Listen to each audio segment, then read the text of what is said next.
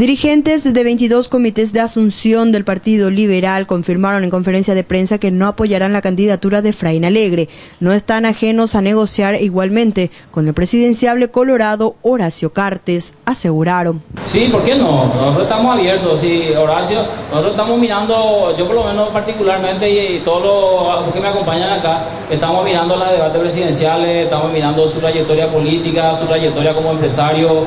O sea, yo desde mi punto de vista personal, le veo un tipo que trabaja, ¿verdad? No como nuestro candidato, candidatos, te digo en sentido general, diputados, senadores, que siempre está colgado ahí del Estado, ¿verdad? que sea senador, diputado, eh, presidente del partido, o sea, yo nunca le he visto trabajar la llano, por ejemplo, ¿verdad?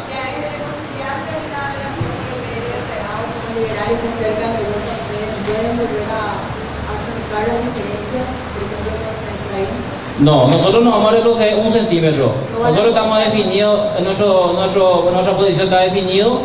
Nosotros estamos en desacuerdo y no vamos a apoyar la candidatura de Efraín Alegre, tampoco vamos a apoyar la candidatura de senadores, mucho menos la candidatura de diputados como Nito Bogaba y Augusto Wagner, ¿verdad? Eso es categórico. Con imágenes de Sergio Ucedo informó Lorena Ponte para ADCTV.